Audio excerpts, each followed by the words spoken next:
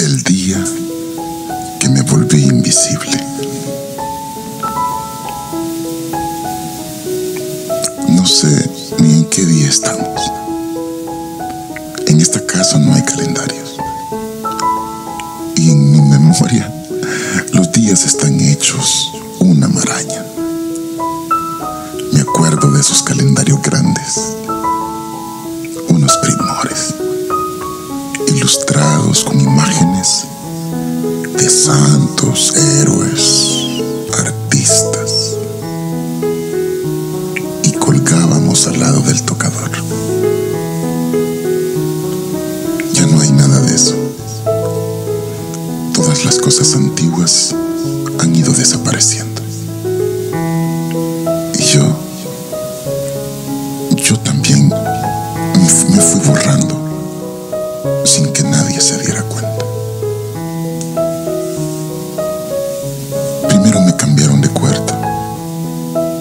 pues la familia creció. Después me pasaron a otra más pequeña aún, acompañado de uno de mis bisnietos.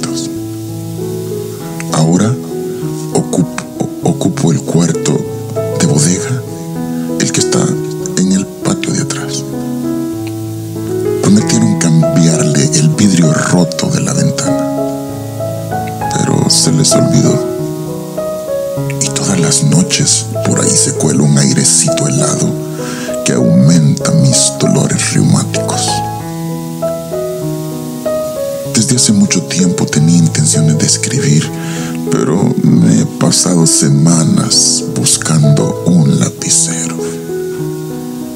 Y cuando al fin lo encontraba, volví a olvidar dónde lo había puesto. A mis años, las cosas se pierden fácilmente.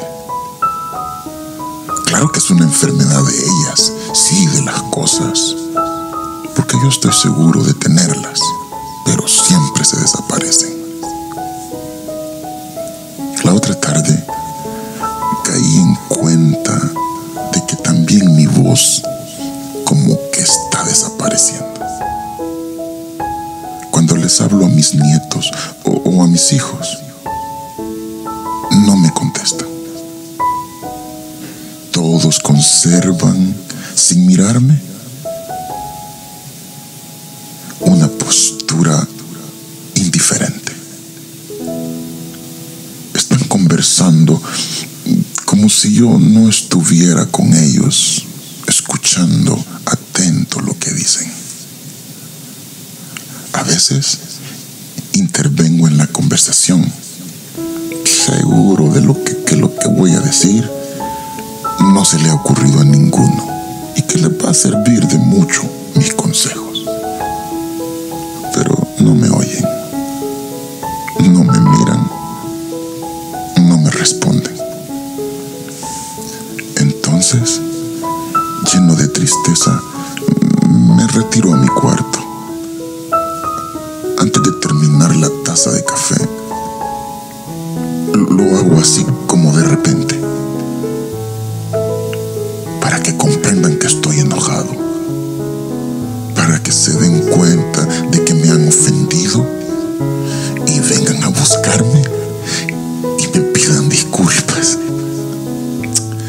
Pero nadie viene.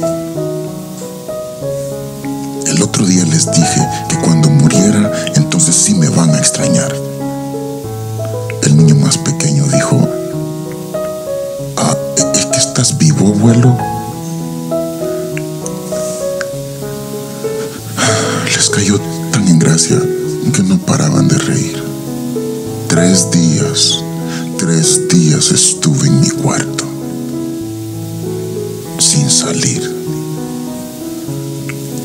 Hasta que una mañana entró uno de mis muchachos a sacar unas llantas que estaban embodegadas ahí donde, donde duermo y no me dio los buenos días. Fue entonces cuando como que me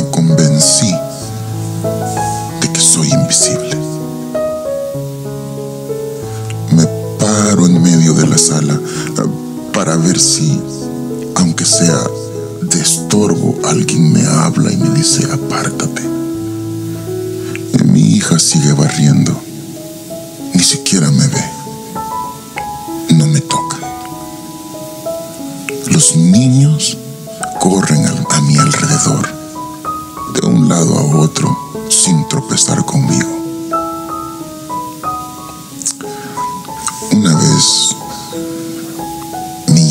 Enfermó. Tuve la oportunidad de serle útil. Le llevé un té especial que solo yo sé preparar. Se lo puse en la mesita y me senté a esperar que se lo tomara. Él estaba viendo la televisión. No dio ni un parpadeo, pero sí, sí me indicó con gestos que se daba cuenta de mi presencia. El té, poco a poco, se fue enfriando. Igual que mi corazón. Un viernes se alborotaron los niños y me vinieron a decir que el día siguiente nos iríamos todos de día de campo.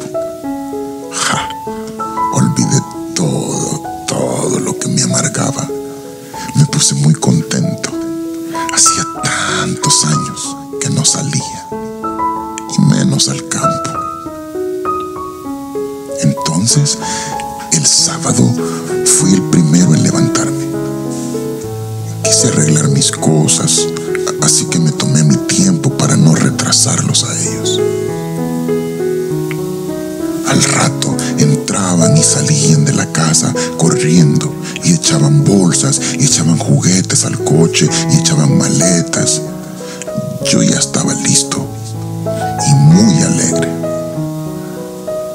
Entonces me paré en el zaguán y dije, aquí los voy a esperar. Cuando arrancaron el auto, desapareció, envuelto en el bullicio.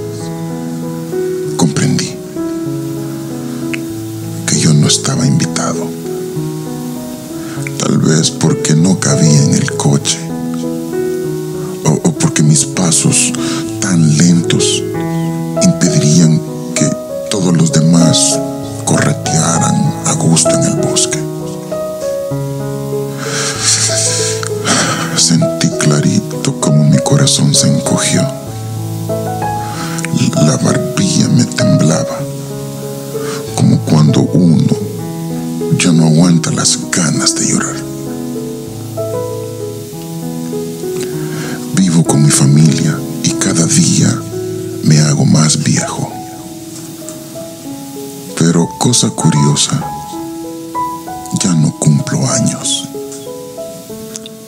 Nadie me lo recuerda. Todos están tan ocupados. Yo, yo los entiendo. Ellos sí hacen cosas importantes. Ríen, gritan, sueñan, lloran, se abrazan, se besan. Yo ya no sé a qué saben los besos. Antes besuqueaba a los chiquitos. Era un gusto enorme el que daba tenerlos en mis brazos, como si fuesen míos. Sentía su piel tiernita y su respiración dulzona muy cerca de mí.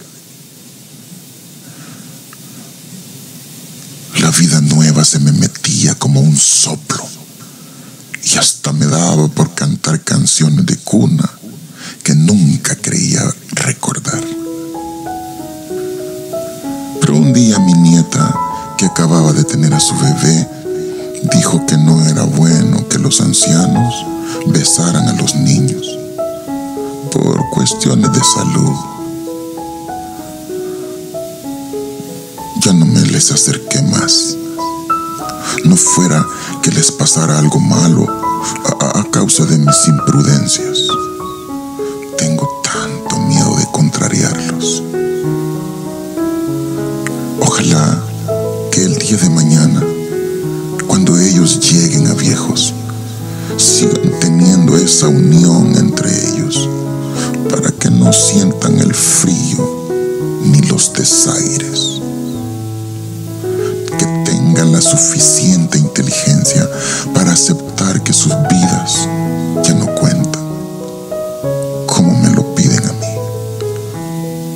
Y Dios quiera que no se conviertan en viejos sentimentales que todavía quieren llamar la atención